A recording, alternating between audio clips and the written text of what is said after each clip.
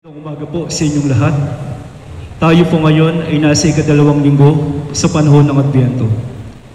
Ang mamumuno po sa ating banal na misa ay si Reverend Father John Zachary Hagisan, OAR. Magsitayo ang lahat.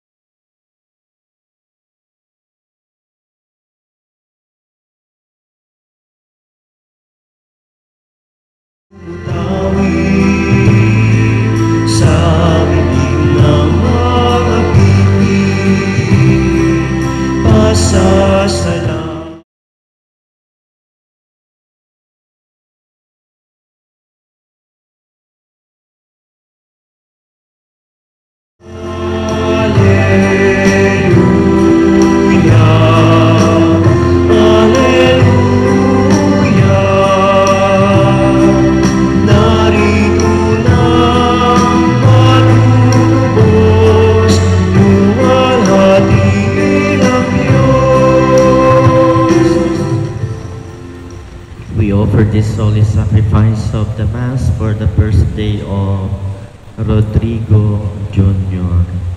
Sa ngalan ng Ama at ng Anak at ng Espiritu Santo, Amen. sumainyo ang Panginoon. At sumayon. Mga kapatid, aminin natin ang ating mga kasalanan upang tayo maging marapat gumanap sa banal na pagdiriwang.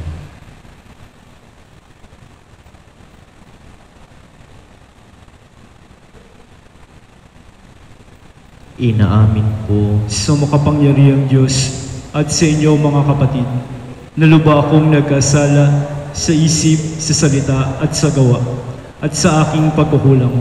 Kaya isinasamo ko sa mahal na Birheng Maria, sa lahat ng mga anghel at mga banal, at sa inyo mga kapatid, na ako'y ipanalangin sa Panginoong ating Diyos. Kaawaan tayo na makapangyarihan Diyos, patawarin tayo sa ating mga kasalanan at patnubayan tayo sa buhay na walang hanggan. Amen. Panginoon, kaawaan mo kami. Panginoon, kaawaan mo kami. Kristo, kaawaan mo kami. Kristo, kaawaan mo kami. Panginoon, kaawaan mo kami. Panginoon, kaawaan mo kami. Manalangin tayo. Ama naming makapangyarihan at maawain, sa aming pagsalubong sa iyong anak, huwag mong ipahintulot na ang maging hadlang ang aming mga pinagkakaabalahan. Turuan nawa kami ng kanyang karunungan upang kami ay kanyang makapiling kasama mo ng Espiritu Santo magpasawalang hanggan. Amen. Magsiupo ang lahat. Maririnig natin ang mga mapagkalingang pahayag ng Diyos para sa kanyang sambayanang bihag sa Babylonia. Ang panawagang ihanda ang daraanan ng Panginoon ay nasasalamin sa ating ebanghelyo ngayon. Pagbasa mula sa aklat ni Propeta Isaías. Aliwin ninyo ang aking bayan, sabi ng Diyos. Aliwin ninyo sila. Inyong ibalita sa bayang Jerusalem na hinango ko na sila sa pagkaalipin, pagkat nagbayad na sila ng ibayo sa pagkakasalang ginawa sa akin. May tinig na sumisigaw. Ipaghanda ang Panginoon ng daan sa ilang. Isang patag at matuwid na lansangan para sa ating Diyos. Tambakan ang mga lambak. Patagin ang mga burol at bundok. At pantayin ang mga baku-bakong daan. Mahahayag ang kaningningan ng Panginoon at makikita ng lahat. Siya mismo ang nagsabi nito. At ikaw, O Jerusalem, mabuting balita ay iyong ihayag. Ikaw, Sion, umakyat ka sa tuktok ng bundok. Ikaw ay sumigaw, huwag kang masisindak. Sabihin sa Huda, narito ang iyong Diyos. Dumarating ang Panginoong makapangyarihan, taglay ang gantimpala sa mga hinirang. At tulad ng pastol, yaong kawan niya ay kakalingain sa sariling bisig. Yaong mga tupay kanyang titipunin, sa kanyang kandungan ay pagyayamanin. At papatnubayan ang tupang may supling. Ang salita ng Diyos. Salamat sa Diyos. Pag-ibig mo'y ipakita, iligtas kami sa dusa. Pag-ibig mo'y ipakita, iligtas kami sa dusa. Aking naririnig magmula sa poon ang sinasalita. Sinasabi niyang ang mga lingkod niya'y magiging payapa kung mangagsisisi at di nababalik sa gawang masama. Ang nagpaparangal sa pangalan niya'y kanyang ililigtas.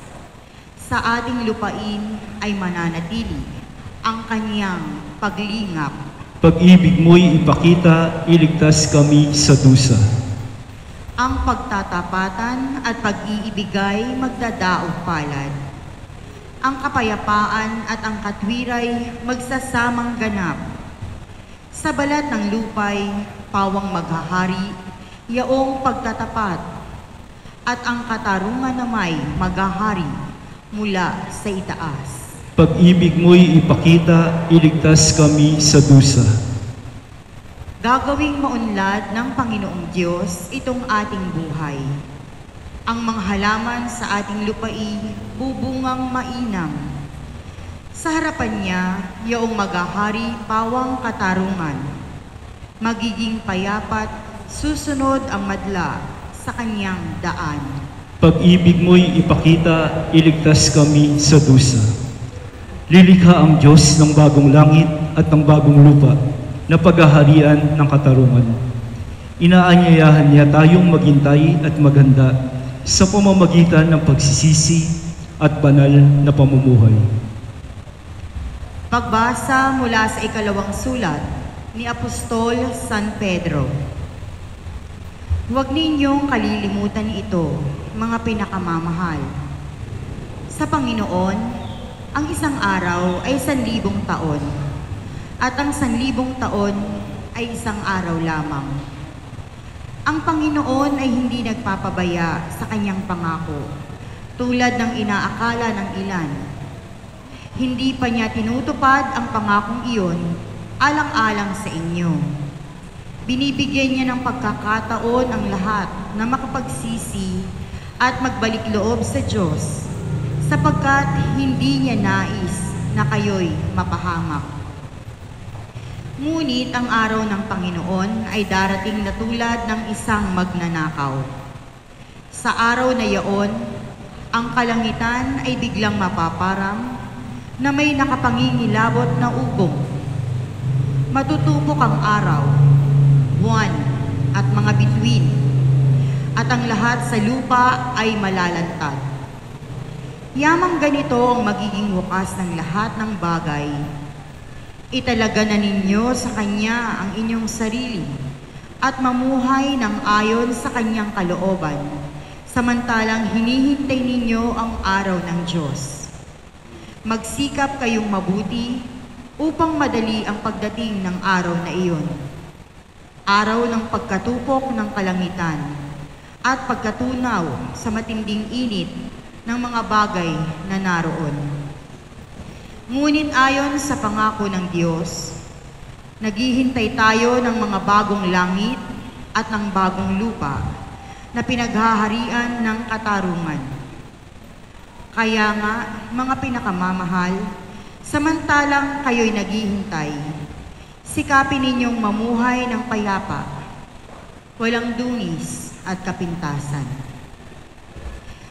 Ang salita ng Diyos. Salamat sa Diyos. Manatili pong nakaupo Tinatawagan po sa harapan sina Mr. and Mrs. Justony Aliling and family, Engineer and Mrs. Celso Pagsugiron and family, Sister Lina Taginod and family para sa pagsisindi ng kandila ng Advento.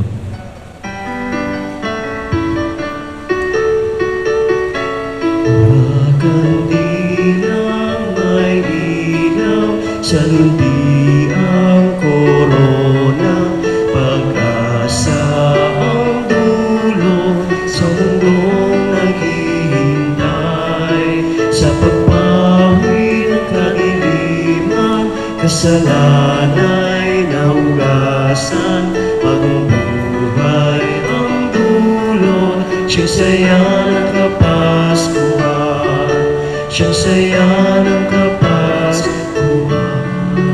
Magsitayo po ang lahat. Manalangin tayo. O makapangyarihan at mahabaging Ama, basbasan mo kami at puspusin mga iyong banal na Espiritu. Lubusan namin kayong madama. Tanggalin mo ang mga bagay-bagay na humahadlang sa amin upang lubusang matanggap si Kristo ng may mag-uumapaw na kaligayahan. Hayaan ang init at liwanag ng iyong pag-ibig ang magbunsod sa aming sumunod sa iyong tagubilin. Sagipin mo kami mula sa aming mga pansariling interes na naglalayo sa iyo biyaya. Gawin mong banal sa lahat ng bagay ang lahat na mag-anak na narito ngayon, partikular na ang pamilya ni Mr. and Mrs. Histone Aliling and family, Engineer and Mrs. Celso Pagsugiron and family, Sister Lina Tagunod, Taginod and family. At bigyan mo kami ng kaalamang mapagtanto ang tama at mali. Turuan mo kaming maging bukas palad at marinig nawa namin ang iyong tinig sa aming puso habang hinihintay namin ang pagbabalik ni Kristong aming Panginoon.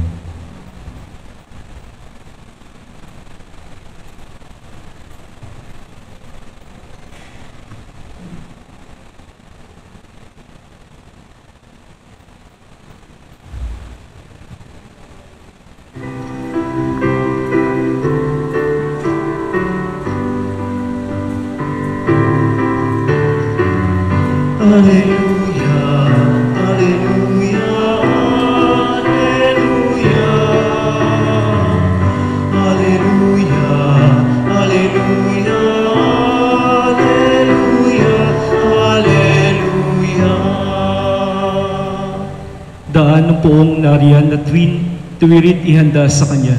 Pagtubos niya'y makikita.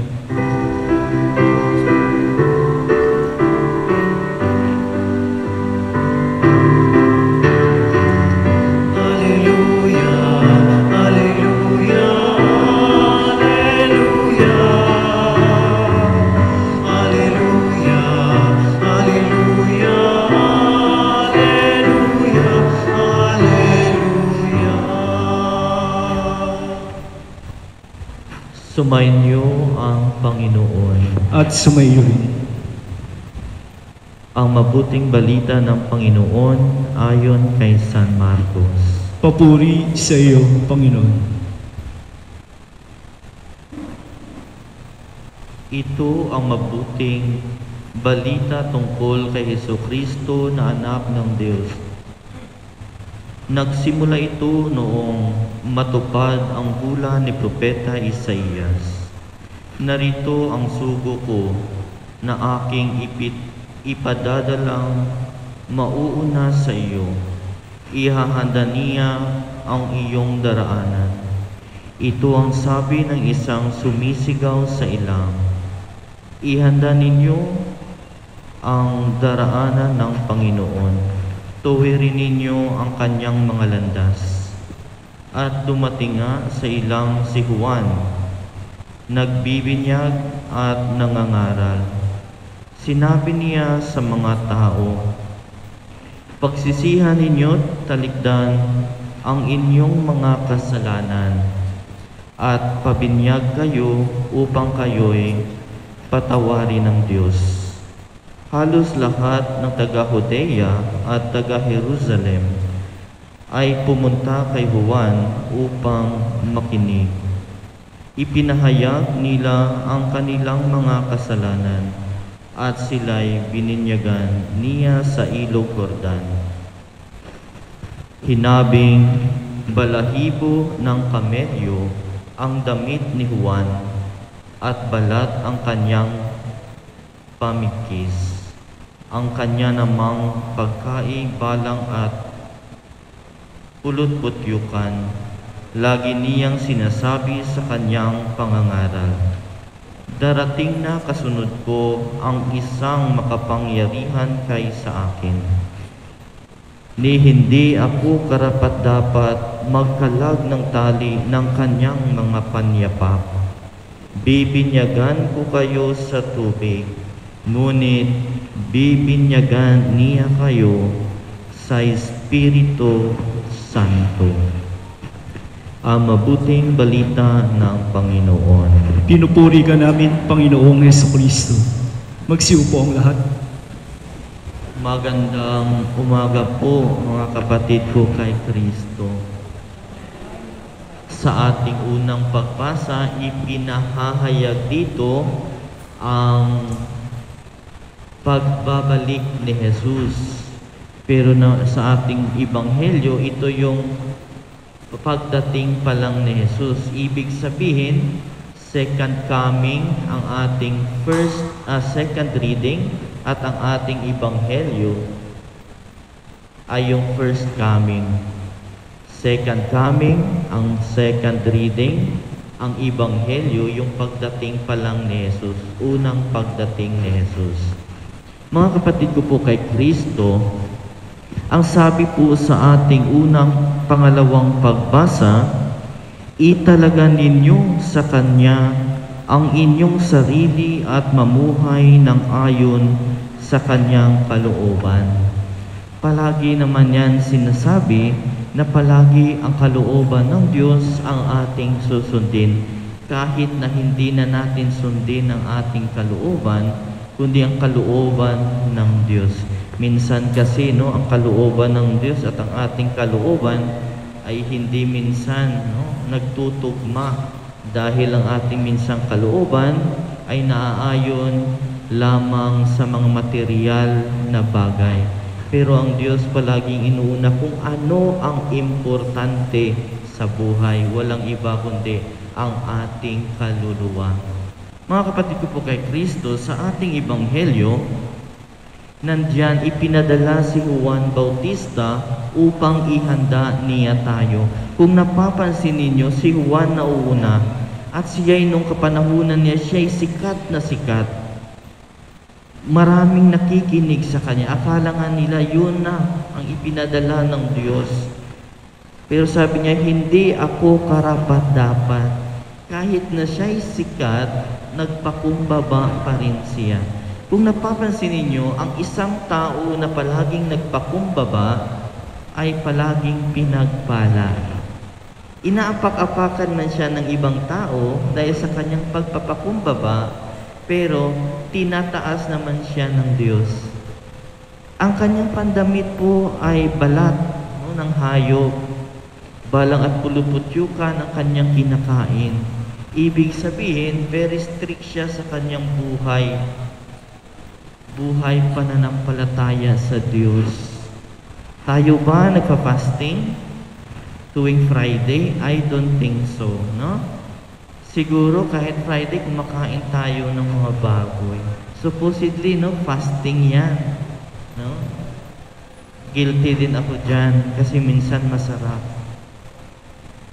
At sa paghahanda sa pagdating ng Panginoon, binibinyagan niya ang mga tao upang magsisi. Paano mo naman no, i-welcome ang Diyos? Of course, dapat ang mga tao ay nakapagsisi na sa kasalanan. Katulad sa binyag natin. Bago natin, no, mga bata, binibinyagan upang maging kaanib ng ating simbahan.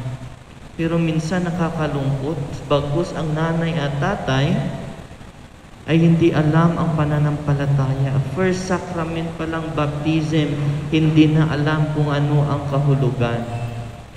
May ninong may ninang na pumupunta ng simbahan upang maging ninong at ninang, hindi upang maging ninong at ninang, upang makikain sa binyagan. Sige pre, list, ilista mo ako para maging kumpari na tayo. Hindi po kumparihan yung pagbibinyag. Ito po'y responsibilidad na dapat gampanan sa bata upang ang bata ay lumaking may pagmamahal at takot sa Diyos. Tinatanong ko minsan, nagsisimba ba kayo? Minsan. Ang nanay, minsan. Kasal na ba kayo? Hindi pa. No? Tatlo na, apat ng anak, hindi pa kasal. Binibigyan natin ng sakramento ang bata, pero ang pagsasama ng mag-asawa, yung sacrament of marriage, hindi pa natanggap. Bakit? Hindi ko alam, no? Hindi naman ako kasal, no? Kaya sana ang mga sakramento ay ating kumplituhin upang sa pagdating ni Jesus ay nahanda na tayo. Kaya yan ang purpose ni Juan Bautista, inihanda tayo. Sana tularan natin si Juan Bautista. Kaya po sa paghahanda natin, may tanong dito. May daan pa ba ang Diyos sa buhay mo? Baka wala ng daan ang Diyos. Baka palagi na lang sarili natin ang palagi nating binibigyan daan, hindi na ang Diyos. Inuuna na natin wala ng Diyos. Sa kasiyahan, wala na ang Diyos. Pero sa kahirapan, halos lahat ng santo, mga anghel, mga birhen, mga martir, tinatawag natin upang tayo'y tulungan. Pero kapag wala na, wala na rin. No? Ay ako to dahil sa akin naging ganito ako. Kung may daan man, baka pinapadaan mo lang ang Diyos sa buhay mo. May daan ang Diyos, Father, no? Pero pinapadaan ko lang, no? Kasi daan lang naman siya. Kasi mahappy na ako ngayon, no? Kasi pinakawalan ko na. Sa pagdaan ng Diyos, mga kapatid, ibabahay mo na ang Diyos. Ibabahay na natin. Ibig sabihin, panatilihin mo na ang Diyos sa iyong buhay. Yun lang ang gusto ng Diyos na manatili sa atin. Diyos na ang may gusto. Ang Diyos na ang may gusto. Kung papansinin mo ang pagdating ng Diyos dahil sa kasalanan, ang pagbibinyag dahil sa kasalanan, ibig sabihin dahil sa ating kasalanan, dumating ang Diyos upang tayo'y patawarin. Ang tanong, tayo din ba nagpapatawad sa mga nagkasala sa atin? Pero sabi ng Diyos, mahalin mo ang iyong kaaway, teka, napakahirap.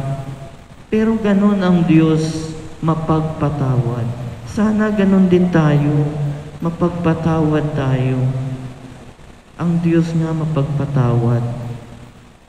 Bakit kaya ang Diyos talaga ang bababa dahil sa kasalanan? Dahil ang tao nagkasala sa Diyos. Hindi naman pwede nagkasala ka sa Diyos. Tao ang pambayad mo. Tao na Diyos din na totoo ang pambayad.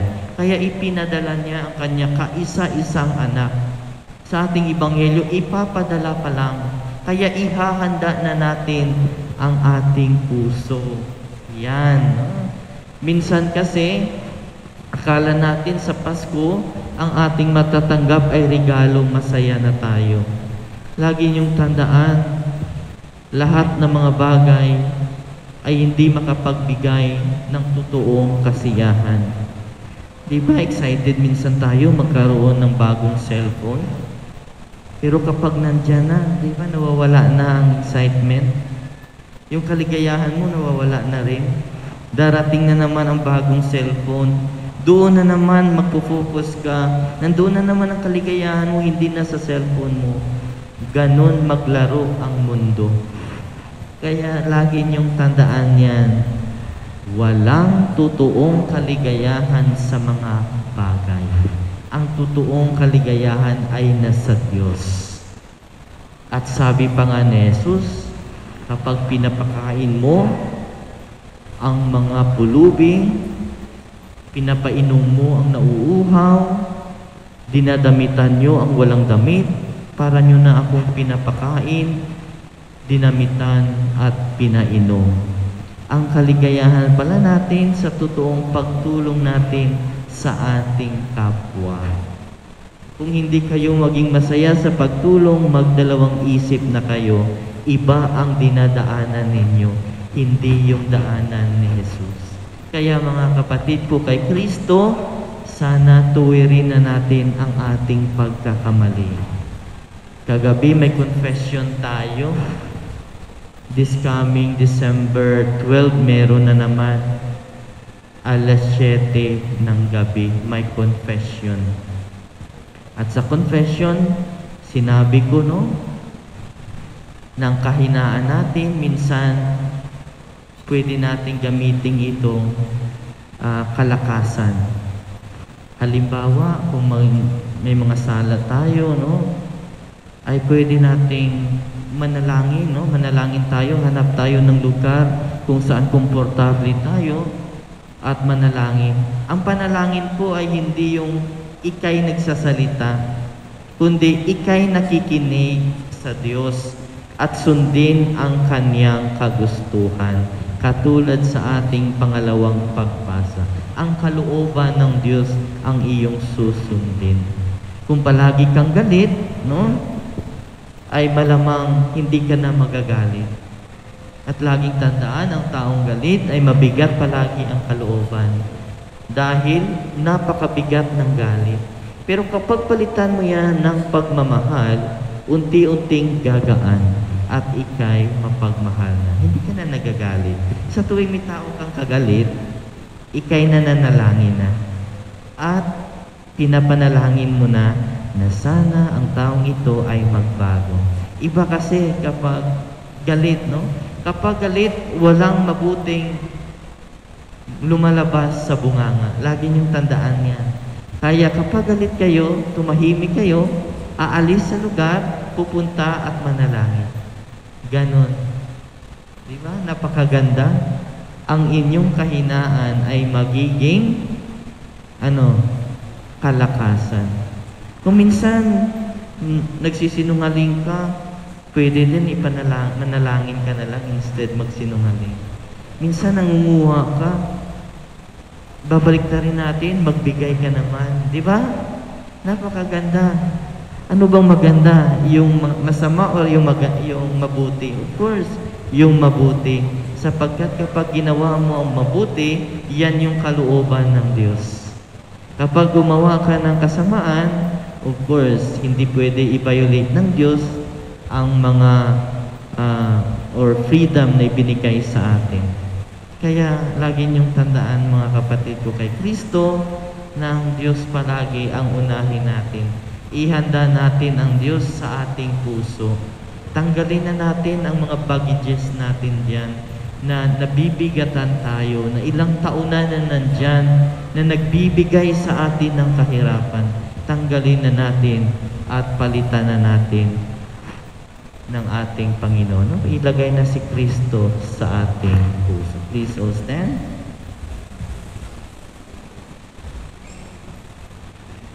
Sumasampalataya ako Sa Diyos samang makapangyarihan sa lahat, na may gawa ng langit at lupa. Sumasampalataya ako kay sa Kristo, iisang anak ng Diyos, Panginoon nating lahat. Nagkatawang tao siya, lalang ng Espiritu Santo, ipinanganak ni Santa Mariang Birhen, pinagpakasakit ni Poncio Pilato, ipinako sa krus na matay inilibing, nanaog sa kinaroroonan ng mga yumao, na may katlong araw na buhay na maguli, umakyat sa langit, naluluklok sa kanan ng Diyos amang makapangyarihan sa lahat. Doon magmumulang paririto at uhukom sa nangabubuhay at nangamatay na tao.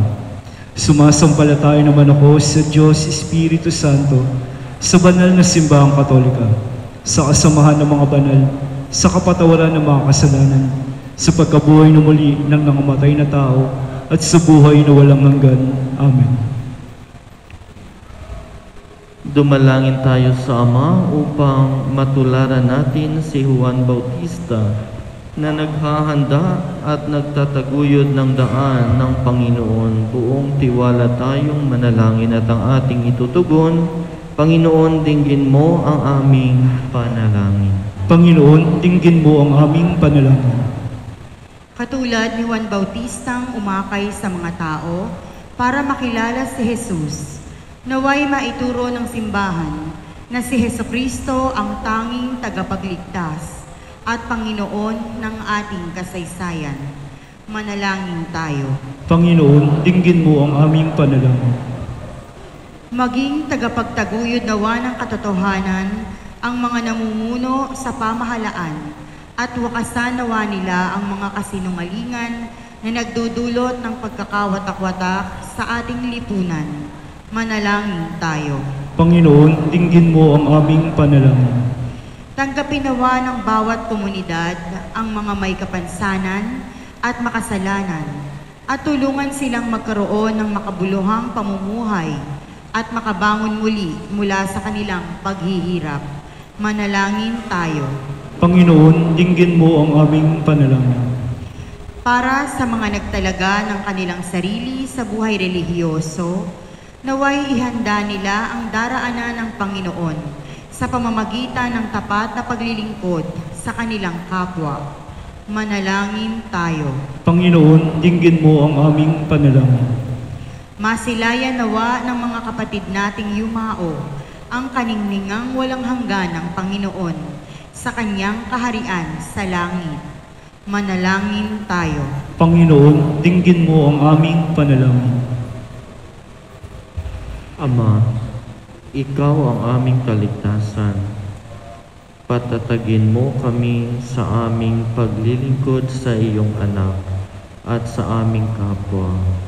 Siya naghahari kasama mo at ng Espiritu Santo magpasa walang hanggan. Amen. Magsiupo ang lahat.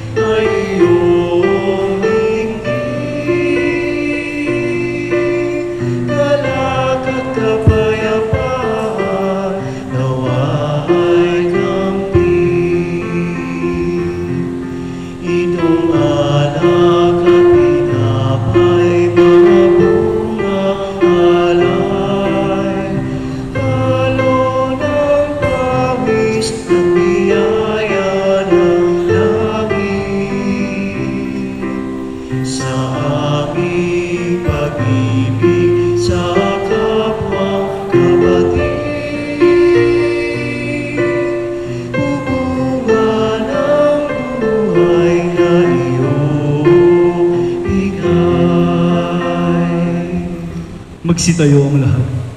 Manalangin kayo mga kapatid upang paghahain natin ay kalugdan ng Diyos amang makapangyarihan. Tanggapin nawa ng Panginoon itong paghahain sa iyong mga kamay, sa kapurihan niya at karangalan, sa ating kapakinabangan, at sa buong isambayanan niyang banal. Ama naming lumikha, kalugdan mo ang aming mga panalangin at alay sa anumang kakulangan ng aming abang nakayanan.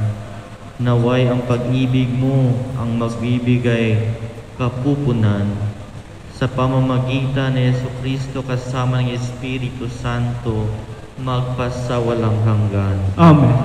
Sumainyo ang Panginoon. at sumayo. Itaas sa Diyos ang inyong puso at diwa. Itinaas na namin sa Panginoon. Pasalamatan natin ang Panginoong ating Diyos. Marapat na siya ipasalamatan. Ama naming makapangyarihan, tunay ngang marapat na ikaw ay aming pasalamatan. Sa pamamagitan ni Yesu Kristo na aming Panginoon, ang pagsusugo mo sa Kanya ay ipinahayag ng lahat ng mga propeta. Ang pagsilang niya'y pinananabikan ng mahal na birheng kanyang inang tunay sa kapangyarihan ng Espiritong Banal. Ang pagdating niya'y inilahad ni San Juan Bautista sa kanyang pagbibinyag. Ngayong pinaghahandaan namin ang maligayang araw ng kanyang pagsilang. Kami nananabik at nananalangin lubos na makaharap sa kanyang kadakilaan. Kaya kaisa ng mga anghel na nagsisiawit ng papuri sa iyo nang walang humpay sa kalangitan, kami nagbubunyi sa iyong kadakilaan.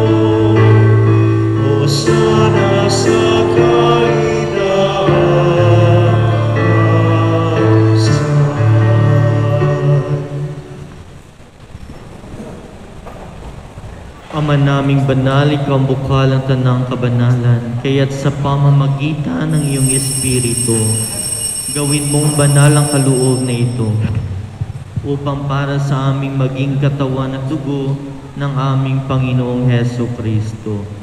Bago niya pinagtiis ang kusang loob na maging hando, inawakan niya ang tinapay, pinasalamatan kaniya, pinaghati-hati niya iyon, iniabot sa kanyang mga alagad at sinabi, Tanggapin ninyong lahat ito at kanin.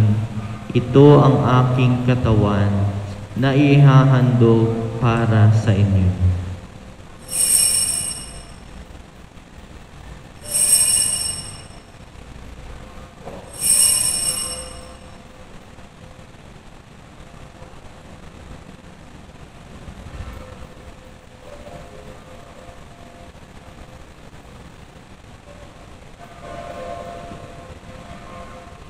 Gayon din naman nung matapos ang hapunan, hinawakan niya ang kalis.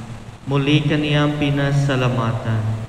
Iniabot niya Iniabot niya ang kalis sa kanyang mga alagad at sinabi, Tanggapin ninyong lahat ito at inumin. Ito ang kalis ng aking dugo ng bago at walang hanggang tipan. Ang aking dugo na ibubuhos para sa inyo at para sa lahat sa ikapagpapatawad ng kasalanan. Gawin ninyo ito sa pag-alala sa akin.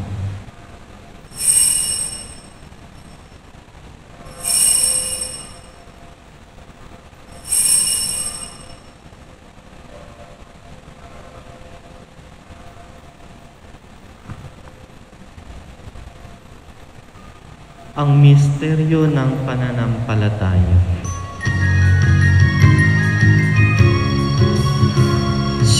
Kristo ay unitain, sa hili ay ihain, bilang pagkain inumin, pinagsasanang walagi.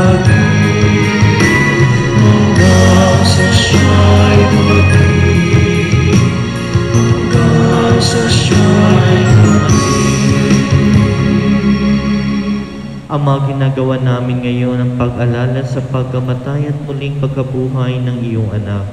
Kaya't inialay namin sa iyo ang tinapay na nagbibigay buhay at ang kalis na nagkakaloob ng kaligtasan. Kami nagpapasalamat dahil kami iyong minarapat na tumayo sa harap mo para maglingkod sa iyo.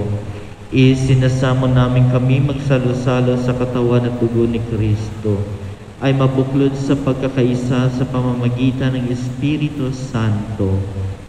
Amalingapin mo ang iyong simbahan laganap sa buong daigdig. Puspusin mo kami sa pag-ibig kaisa ni Francisco na aming Papa at ni Broderick na aming Obispo at ng Tanang Kaparian. Alalahanin mo rin ang mga kapatid naming nahimlay na may pag-asang sila'y muling mabubuhay. Gayon din ang lahat ng mga pumanaw. Kaawaan mo sila at patuloyin sa iyong kaliwanagan. Kaawaan mo at pagindapatin kaming lahat na magkasalo sa iyong buhay na walang wakas. Kaisa na mahal na Birhen Maria na ina ng Diyos, ng kabiyak na puso niyang si San Jose. Kaisa ng mga apostol at ng lahat ng mga banal na namuhay dito sa daigdig ng kalugod-lugod sa iyo. Maipagdiwang nawa namin ang pagpupuri sa ikararangal mo sa pamamagitan ng iyong anak na aming Panginoong Heso Kristo.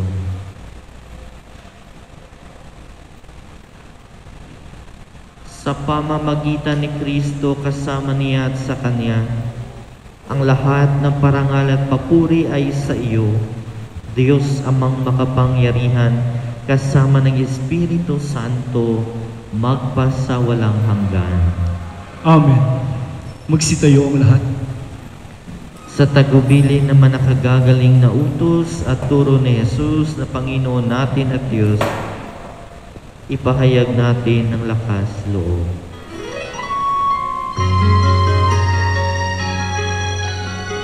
Sumasalangit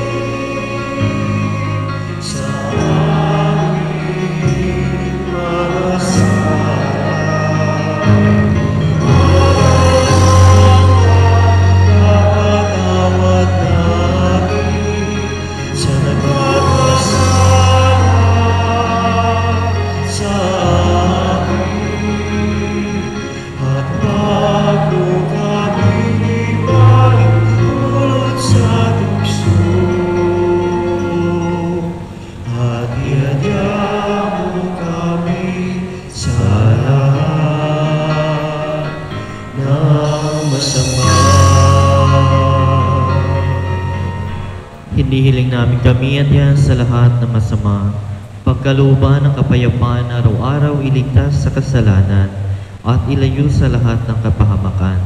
Samantalang aming pinananabikan ang dakilang araw ng pagpapahayag ng tagapagligtas naming si Heso Kristo. Sapagkat iyong kaharian, ang kapangyarihan at ang kapurihan magpakailanman. Amen. Panginoong Heso Kristo, sinabi mo sa iyong mga apostol, Kapayapaan ang iniiwan ko sa inyo. Ang aking kapayapaan ay binibigay ko sa inyo. Tunghayan mo ang aming pananampalataya at huwag ang aming pagkakasala. Pagkalooban mo kami ng kapayapaan at pagkakaisa ayon sa iyong kalooban.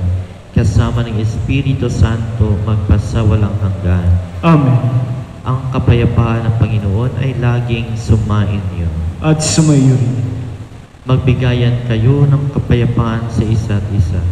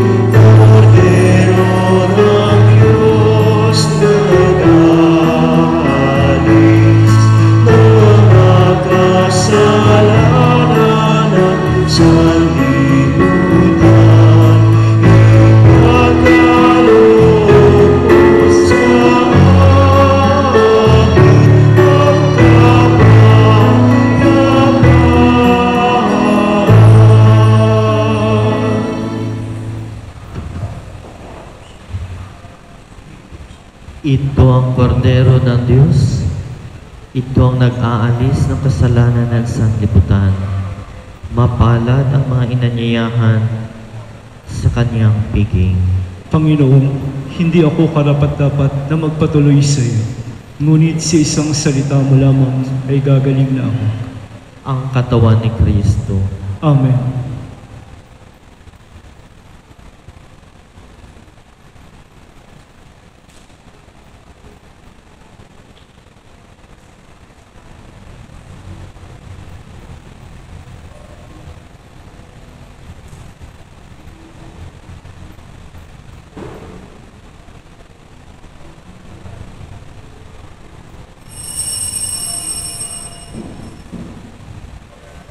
Magsiupo muna po ang lahat.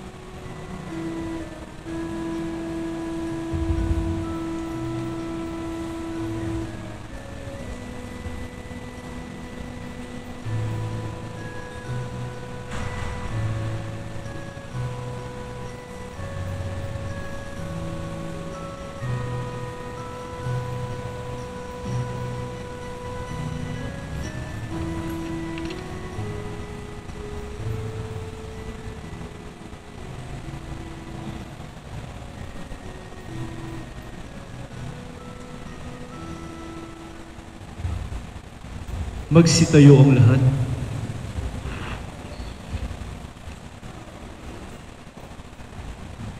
Manalangin tayo.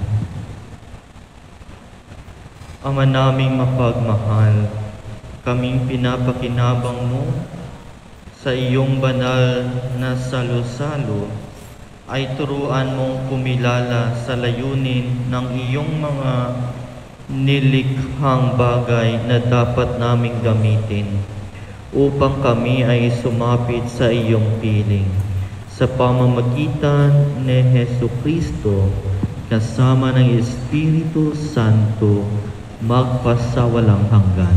Amen. Magsiupo ang lahat para sa mga paalala. Nasa harapan ng ating simbahan ang tarpaulin kung saan ipinapaalam ang mga activities ng Simbang Gabi 2020. Sa simbahan natin, ang mga oras ng Simbang Gabi ay alas 6 at alas 8 ng umag ng gabi at 4.30 ng madaling araw. Ulitin ko po, alas 6 at alas 8 ng gabi at 4.30 ng madaling araw. Ang alas 6 at alas ang alas 6 at alas 8 ng gabi ay para sa anticipated mass o pangunahing misa. Ang 4.30 AM naman ay ang banal na misa sa madaling araw. Sa madaling salita, magkakaroon ng tatlong misa araw-araw dito sa ating simbahan para sa simbang gabi. Dalawa sa gabi at isa sa madaling araw. Inuulit po natin, nasa harapan ng ating simbahan ang tarpulin para sa simbang gabi activities. Magkakaroon ng Advent Benediction para sa lahat ng ating mga parokyano. Pangungunahan po ito ng mga ministries at mga organisasyon ng ating parokya. Ito ay isang banal na oras o holy hour at kumpisalang bayan. Mangyayari ito sa araw ng December 12 sa ikapito ng gabi. Ating pong ipagdiriwang ang kapistahan ng Immaculate Conception sa darating na December 8, araw ng Martes sa ikap-anim ng gabi. Muli ay panoorin po natin ang video katesismo tungkol sa Adviento.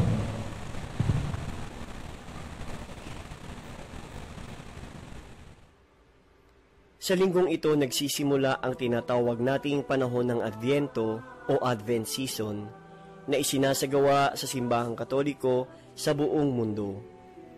Ang salitang Adviento o Advent ay nanggaling sa salitang Latin na Adventus, nang ibig sabihin ay pagdating. Hinihintay natin ang pagdating ng araw ng kapanganakan ni Jesus na una nang ipinagdiwang noong siya ay isilang bilang tagapagligtas ng sanlibutan sa isang hamak na sabsaban. Ang panahon ding ito ay hudyat na rin ng bagong taon sa kalendaryo ng simbahang katoliko. Ito ay sinisimulan sa unang linggo ng Adviento. Sa loob ng apat na linggo ng paghahanda, sinisindihan isa-isa ang mga kandila bago sumapit ang araw ng Pasko. Ngunit, ano nga ba ang ibig sabihin ng koronang berde na may apat na kandila na nasa tabi ng altar ng simbahan? Ito'y dekorasyon lang ba o may kahulugan ang bawat isa? Ang koronang berde na may apat na kandila ay simbolo ng Adviento. Ito ay tinatawag na Advent o ang koronang pang-Adviento. Ang hugis bilog ay sumasagisag sa walang hanggang pag-ibig ng Diyos sa atin, pag-ibig na walang simula at walang wakas, pag-ibig na laan para sa lahat. Ang evergreen ay sumasagisag sa pag-asa, pag-asa na matatagpuan lamang sa manunubos ng mundo. Ang apat na kandila, ang mga taong hinirang sa lumang tipan, ay naghintay ng apat na libong taon sa pagdating ng manunubos. Ang apat na linggo ng Adviento ay sumasagisag ng paghahanda at pagmimithi sa tagapagligtas.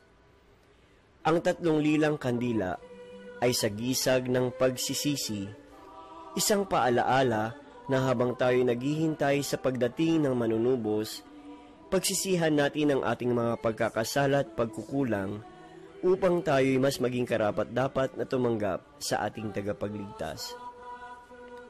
Ang isang kulay na rosas na kandila ay sagisag naman ng kagalakan kagalakan sa nalalapit na pagdating ng manunubos. Ang kandilang ito ay sinisindihan sa ikatlong linggo ng Adviento na tinatawag na Gaudete Sunday o Linggo ng Kagalakan. Ang mga nakasinding kandila ay sumasagisag naman kay Jesus, ang ilaw ng sanlibutan. Ilaw na patuloy na gumagabay sa atin. Kapansin-pansin din ang hindi pag-awit ng gloria o papuri sa kadahilanang tayo ay nasa panahon pa ng paghihintay. Maliban sa ating tradisyon bilang mga Pilipino, inaawit ang gloria o papuri sa simbang gabi. Tanda na tayo'y masayang naghahanda sa pagnonobena para sa kapanganakan ng ating tagapagligtas.